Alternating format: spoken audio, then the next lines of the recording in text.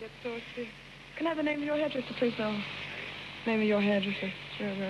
Oh, sorry, I'm getting it all wrong. hey, what you been doing, Jim?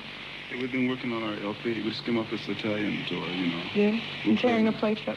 Well, you know, we did our thing, whichever that is. Something, yeah, great. Well, we're supposed to do a duet now, and you can pick any number you want, provided you pick Mockingbird. Great. Okay, I'll tell you what we'll do. We're going to do. Mockingbird. Yes.